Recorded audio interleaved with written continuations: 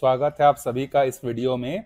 तो आज के वीडियो में हम लोग देखने वाले हैं छत्तीसगढ़ जीके के हम लोग जो है वीडियो सीरीज़ जो है स्टार्ट कर रहे हैं, जो आने वाले व्यापम के, पीएससी के पुलिस के या किसी भी छत्तीसगढ़ से संबंधित जो भी एग्ज़ाम होते हैं, जिसमें छत्तीसगढ़ आपका सिलेबस में है, वो सारे एग्ज़ाम के लिए जो है, ये आपका इंपॉर्टेंट जो है, होने वाला है। ठीक है?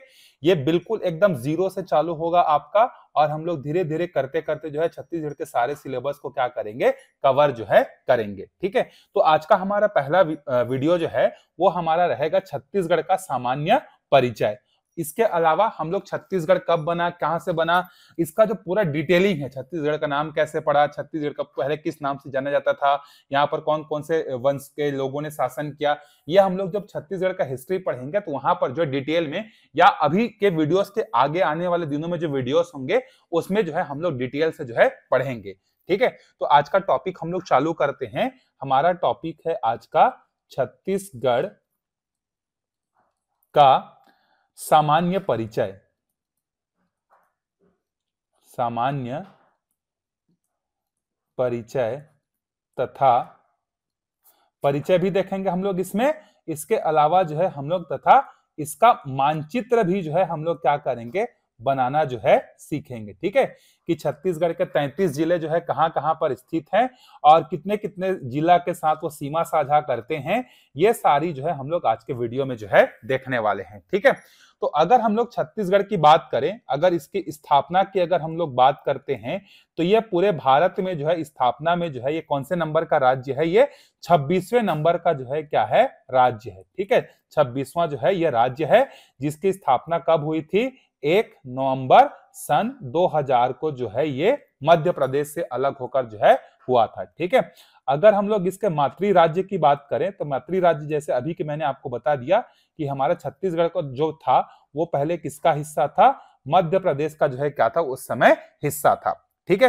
कितने जिलों को लेकर बना था ये पहले? जब हमारा छत्तीसगढ़ जिला एक नवंबर सन 2000 को बना तो उस समय जिलों की संख्या कितनी थी? 16 तो ये क्वेश्चन एग्ज़ाम में कई बार पूछा जाता है कि मध्य प्रदेश से कितने जिलों को लेकर जो है छत्तीसगढ़ राज्य का जो है गठन किया गया था तो इसका उत्तर है मध्य प्रदेश से 16 जिलों को जो है अलग करके छत्तीसगढ़ राज्य का गठन जो है किया गया था। ठीक है?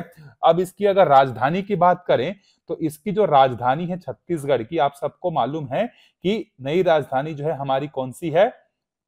नवा रायपुर अटल नगर। ठीक है? एक तो आप बोल सकते हो नया रायपुर है या अटल नगर, उसी को जो है किस नाम से जाना जाता है? अटल बिहारी वाजपेयी के नाम पे जो है, अटल नगर के नाम से जो है जाना जाता है। तो छत्तीसगढ़ की राजधानी जो है, ये हो गई, ठीक है?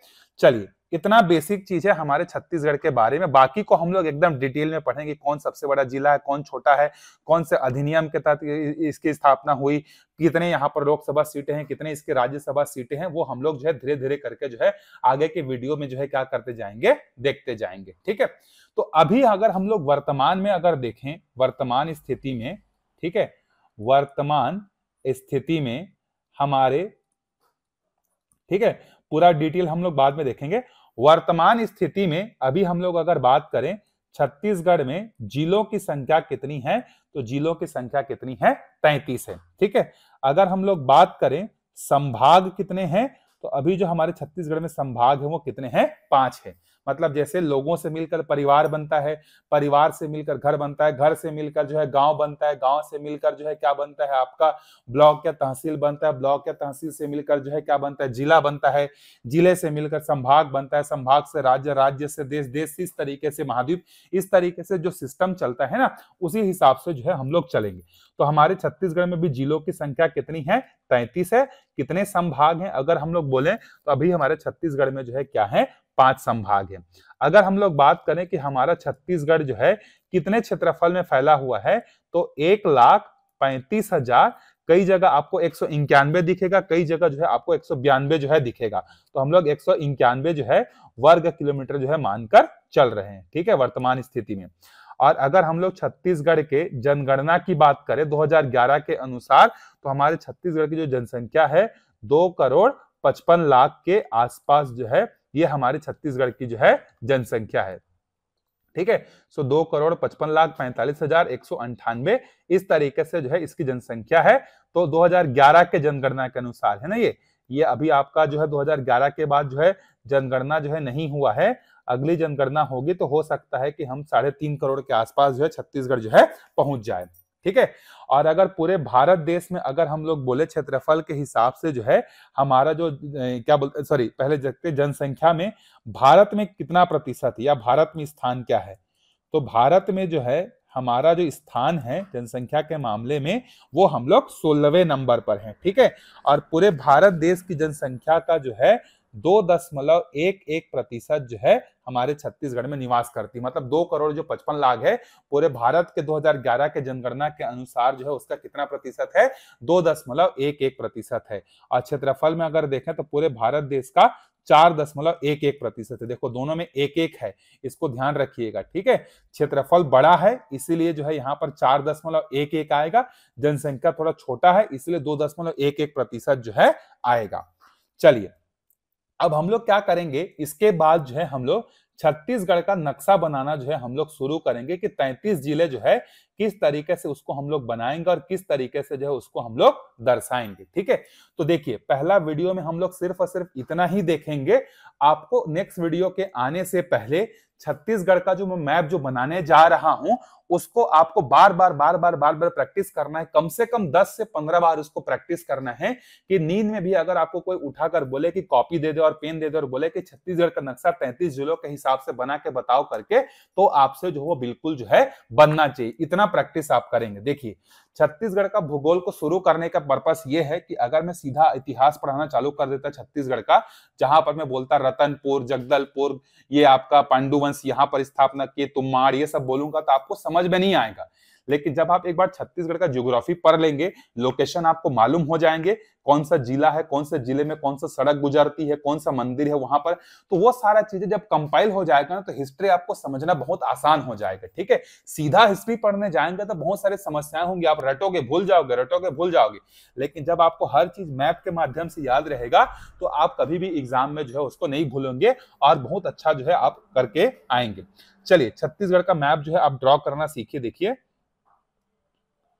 इस तरीके से लगभग, लग एग्जैक्ट तो मैप नहीं नहीं बना सकते हम लोग, ठीक है एग्जैक्ट मैप हमें बनाना भी नहीं है एग्ज़ाम में पूछता भी नहीं है। हमें जो है क्या करना है, एक जनरल मैप जो है बनाना है, जिसमें हम लोग क्या कर सके, छत्तीसगढ़ के तैंतीस जिलों को जो है हम लोग वहाँ पर क्या कर सके, बड़े आराम से जो है हम लोग वहाँ पर दर्शा सके। तो इस तरीके से आप क्या करेंगे, एक मैप जो है यहाँ पर आप ड्रॉ करेंगे, ठीक है रफली मैप आप इसको जितना रफली बनाएँगे, उतना कोई दिक्कत वाली बात नहीं है। आप जितना रफली बनाना चाहें, इसको जो है, बना सकते हैं। ठीक है? ये इस तरीके से। ठीक? चलिए, मान लेते हैं हमारे छत्तीसगढ़ का जो है, मैप है। अब देखो ध्यान से। आपको पहले क्या करना है? यहाँ से ना, इसको आपको इस तरीके से ज्वाइन कर देना है। ठीक है? ये आपका कौन सा हो जाएगा? सरगुजा संभाग हो जाएगा। पाँच संभाग की मैंने बात की ना, उसमें ये आपका सरगुजा संभाग हो जाएगा। यहाँ से आपको इस तरीके से एक लाइन खींचनी है, दो लाइन खींचनी है, और यहाँ से इस तरीके से तीसरी लाइन, और यहाँ से ये चौथी और पांचवी लाइन, ठीक है? एक बार फिर से आप वीडियो को वापस करके देखिए किस तरीके से मैंने खींचा है इसको। पहले जो है मैंने क्या किया है देखिए, पहले जो है क्या बोलते हैं तीन लाइनें जो है खींची हैं, एक लाइन, दो लाइन, और यहाँ से इसके बाद इसको जोड़ दिया मैंने, और फिर ये, ठीक है? इसके बाद आप क्या करेंगे? देखिए, मैं कलर चेंज कर देता हूँ, फिर यहाँ से नीला कलर ले लेता हूँ, ठीक है? इसका जो पहला बक्सा है, इस पहले वाले बक्से को आप क्या करेंगे? इस तरीके से इस तीसरे वाले बक्से के साथ जो है मिलाएँगे, ठीक है? मिलाने के बाद इसी के नज़दीक से आप जो है इस तरीके से मुड़ा हुआ जो है, एक यहाँ पर रेखा जो है खींचेंगे, ठीक है? फिर यहाँ से आप इसको ज्वाइन करेंगे इस तरीके से फिर इसको ज्वाइन करेंगे, फिर यहाँ पर आप एक, थोड़ा दूर में दो, फिर ये पास में तीन। तीन रेखा जो है आप यहाँ पर और इस तरीके से खींचेंगे। ठीक है यह आपका बिलासपुर संभाग बन गया। ठीक, इसके बाद आपको यहीं से क्या करना है, इस तरीके से जो है थोड़ा सा टेढ़ा मेढ़ा करते हुए यहाँ से इसको ज्वाइन करना है। और इसमें जो है कुल आपको तीन लाइनें खींचनी है। तीन, ठीक है? एक, दो तीन, इस तरीके से, ठीक है? फिर आपको क्या करना है? ऊपर का एक और नीचे के एक को छोड़कर दोनों के बीच से जो है, इस तरीके से यहाँ से एक रेखा जो है आपको खींचनी जो कि यही से आएगा, इस तरीके से, इस तरीके से आएगा और इसके साथ क्या होगा? ये जुड़ जाएगा, ठीक है? अभी कौन कौन सा जिला है? मैं अभी बताऊँगा। फ़िलहाल आप इतना जो है, अच्छे से जो है, करिएगा, ठीक है? फिर इसके बाद हमें क्या करना है? देखिए, यही से ना हमें क्या करना है, इसको जो है यहाँ से इस तरीके से जोड़ देना है। ठीक है, ये थोड़ा सा और नीचे होना चाहिए था। चलिए, अगर इरेज हो पाता है तो मैं इसको करके देखता हूँ। हाँ हो गया, चलिए। रेड पेन से बना था ना? तो ये जो है इसको हाँ इस तरीके से। ठीक है? थोड़ा सा तो इसका ये जो, चलो कलर का पेन चेंज करते यहाँ से जो बना है ना ये यहाँ पर जो मुड़ा हुआ है यहाँ मुड़ा हुआ यहाँ से आपको जोड़ना है ठीक है? ये जो मुड़ा हुआ है उसके थोड़े नीचे से आपको क्या करना है इसको जोड़ना है। फिर आपको क्या करना है देखिए फिर जो है आपको यहाँ से इस सेकेंड वाले डिब्बे से सेकेंड वाले डिब्बे से ही आपको यहीं पर क्या करनी है एक और रेखा जो है यहाँ से जोड़ देनी है ठीक है? ध्यान से देखते जाइएगा आपसे बार बार मिस्टेक जो है हो, हो सकता है। इसके बाद इसके पहले वाले बीच से पहले वाले बीच से आप क्या करेंगे, इसको जोड़ेंगे, फिर यहाँ से आप इसको जोड़ेंगे इस तरीके से, ठीक है? फिर आप यहाँ से एक रेखा जो है खींचेंगे, यहाँ जाएगा ये रेखा, और फिर यहाँ से आप इस तरीके से एक रेखा जो है खींचेंगे, ठीक है? बार बार प्रैक्टिस करिएगा तभी आपसे बनेगा। फिर इसके बाद कलर पेन, कलर जो है मैं चेंज कर देता हूँ नीला कलर, हरा ले लेता हूँ। यहाँ पर आपको इस तरीके से एक खींचना है, यहाँ से एक जो है आपको यहाँ पर एक बॉक्स बनाना है। इस बॉक्स को यहाँ से ऐसे जोड़ना है और यहाँ से ऐसे जोड़ देना है। ठीक है? फिर इसके बाद आप क्या करेंगे? ये जो मुड़ा हुआ हिस्सा है यहीं से आप इस बॉक्स को जोड़ेंगे और फिर यहाँ से जो है आप क्या करेंगे? आ, ये जो मुड़ा हुआ है इसको यहाँ से एक बार और जो है आप जोड़ देंगे। ठीक है? तो ये वाला हिस्सा जो है आपका पूरा बस्तर संभाग जो है हो जाएगा। ठीक है? समझ में आया होगा आपको? अब चलिए, ज़िले का नामकरण जो है करते हैं। यहाँ पर बस आपको एक और रेखा जो है यहाँ से इस तरीके से आपको क्या करनी है? खींच देनी है। ठीक? चलिए, अब ज़िले का नामकरण करने की बारी आती है। तो सबसे पहले ये आएगा आपका मनेन्द्रगढ़ चिरमिरी और भरतपुर। ठीक है? ये आ जाएगा। फिर इसके बाद ये आएगा आपका कोरिया। ठीक है? कोरिया के बाजू में है, यहाँ पर आपका सूरजपुर, यहाँ पर है आपका बलरामपुर, यहाँ है आपका सरगुजा, यहाँ है आपका जसपुर। तो ये सब के सब आपके कौन से संभाग हो गए? ये आपका सरगुजा संभाग हो गया। ठीक है? पाँच संभागों में बटा है कि नहीं? तो कितने ज़िले हो गए? एक, दो, तीन, चार, पाँच, छह। छह जिलों से मिलकर जो है आपका क्या बना हुआ है? सरगुजा संभाग जो है बना हुआ है। जिसका मुख्यालय आपका कौन सा है? अंबिकापुर। इसको भी ध्यान में रखिएगा। इसका मुख्यालय कौन सा है? अंबिकापुर। ठीक? चलिए, फिर नीचे आते हैं। नीचे आएँगे तो ये जो छोटा सा आपको दिख रहा है ना, ये है आपका गौरेला पेंड्रा मरवाही, जीपीएम। ठीक है? ये है आपका कोरबा। जो कि अभी छत्तीसगढ़ का तैंतीस जिलों के हिसाब से जो है सबसे बड़ा जिला है। फिर ये है हमारा रायगढ़। ठीक है? फिर रायगढ़ के बाजू में यहाँ पर मिलेगा आपको शक्ति शक्ति के बाजू में मिलेगा जांजगीर चापा। जांजगीर चापा के साइड में आपको मिलेगा बिलासपुर। बिलासपुर के नीचे यहाँ पर आपको मिल जाएगा मुंगेली। ठीक? मुंगेली के बाद यहाँ पर आपको मिलेगा कबीर धाम या कवर्धा। ठीक है? कबीर धाम या कवर्धा फिर यहाँ पर मिलेगा आपको इसके जस्ट नीचे खैरागढ़ के सी जी खैरागढ़, छुई खदान, गंडई। फिर इसके नीचे आपको मिलेगा यहाँ पर राजनांदगांव। फिर इसके नीचे आपको मिलेगा मोहला, मानपुर, अंबागढ़, चौकी। ठीक है? फिर यहाँ ऊपर में आपको क्या मिलेगा? ये वाला जो है, ये आपका बेमेतरा। बेमेतरा के जस्ट नीचे है आपका दुर्ग। दुर्ग के नीचे आपको मिलेगा बालोद। तो ये वाला जो हिस्सा है, ये आपका कौन से संभाग के अंतर्गत आता है?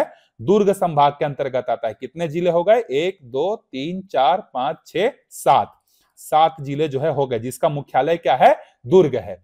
और ये वाला बीच वाला जो हिस्सा है ना, ये आपका कौन से संभाग में आता है? बिलासपुर संभाग में। कितने ज़िले हैं देख लो। अच्छा ये वाला एक और छूट गया ना। यहाँ पर आपका सारंगढ़ भी है। सारंगढ़ भी आपका कहाँ आता है? बिलासपुर संभाग में ही आता है। तो एक, दो तीन, चार, पाँच, छ, सात और मुंगेली को मिलाकर आठ। आठ ज़िले है से मिलकर आपका बना हुआ है। और इसका मुख्यालय कहाँ है? इसका मुख्यालय जो है आपका बिलासपुर ही है। ठीक है? तो ये जो आपको दिख रहा है सारंगढ़, ये पूरा आपका बिलासपुर संभाग के अंतर्गत जो है आएगा। चलिए, अब थोड़ा सा पेन के कलर को चेंज करते हैं। क्या रखें? चलो, पिंक कलर रखते हैं। ठीक है? अब देखिए सारंगढ़ के बाजू में जस्ट आपको मिलेगा। अच्छा दोनों कलर तो एक जैसे हो जा रहे हैं। चलो, कलर को चेंज करते हैं, कुछ अलग हटके देखते हैं। येलो कलर लेके देखते हैं, दिखेगा तो। चलो, यहाँ पर है हमारा बलौदा बाज़ार, ठीक है? बलौदा बाज़ार के नीचे हमारे छत्तीसगढ़ का कैपिटल है ये रायपुर, ठीक है? फिर ये वाला है हमारा महासमुंद, ये वाला है हमारा गरियाबंद और ये है हमारा धमतरी। ठीक है? कितने ज़िले हो गए? एक, दो, तीन, चार, पाँच। पाँच जिलों से जो है मिलकर हमारा कौन बना हुआ है? रायपुर संभाग। ठीक है? रायपुर संभाग में कितने ज़िले हो गए? पाँच। और रायपुर संभाग का जो मुख्यालय है, ये आपका रायपुर ही है। ठीक है?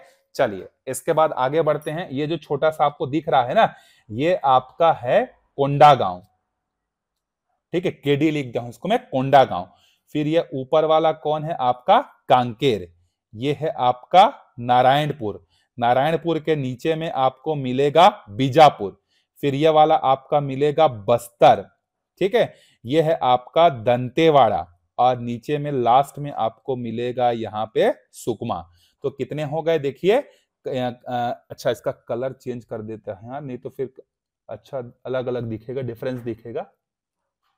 ब्लैक कलर ले लेता हूँ, चलिए।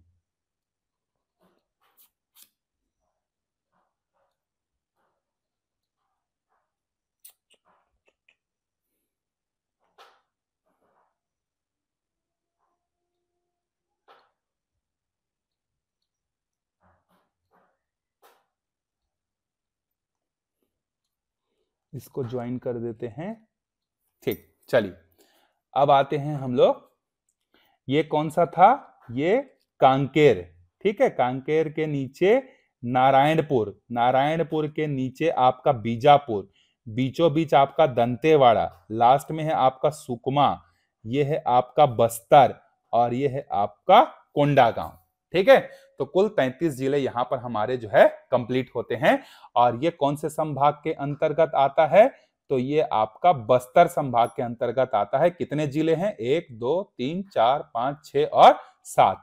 जब तक नवीन जिलों का गठन नहीं हुआ था, तब तक जो है सबसे बड़ा क्षेत्रफल और सबसे ज़्यादा जिलों वाला संभाग कौन सा था? आपका बस्तर ही था। लेकिन अब क्षेत्रफल के हिसाब से देखिए अब इसकी स्पेशलिटी बता देता हूँ। चलिए, पहले इसका मुख्यालय देख लेते हैं।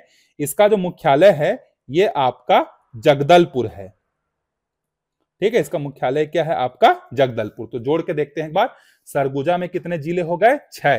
बिलासपुर में कितने हो गए? आठ। आठ और छह, चौदह। चौदह और सात, दुर्ग में कितने हो गए? चौदह और सात।